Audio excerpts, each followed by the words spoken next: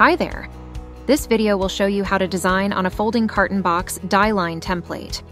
While adding your design to the die line template, it can be helpful to refer back to the folding carton orientation guide to see how you should place your design elements. To show you how to add your design to a folding carton die line template, let's use this PackMojo box as a base and add some additional elements. As you can see, this box has a different color on the interior and has some logo and text elements on several panels. Folding cartons are made using one paperboard that is folded and glued to form your box. When adding your designs to the die line template, please remember to account for bleeds, meaning artwork at the edge should extend beyond the die line. Depending on what you prefer, the front of the folding carton can vary. If you prefer the front of your carton to be where the tuck tab opens, such that it opens towards you, follow the orientation guide for option 1. If you prefer the back of the carton to be where the tuck tab opens, such that it opens away from you, follow the orientation guide for option 2. The main difference between the two is that the different side panels will go in different positions, and that in option 1, the exterior top will need to be inverted.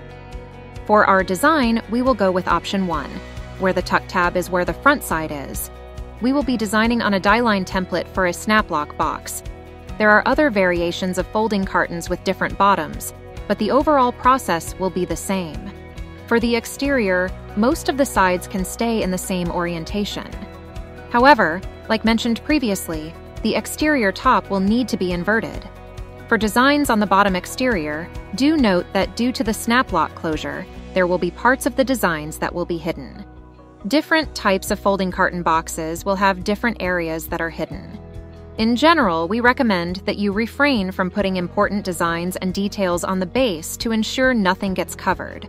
For the interior of the folding carton, all designs can go on in the same orientation, including the top.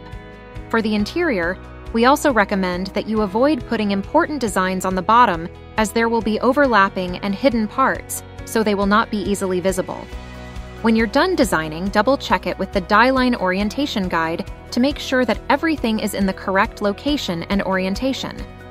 To learn more about adding logos, vectorizing text, or embedding images, click on the link in the description or head to our website for more design tips.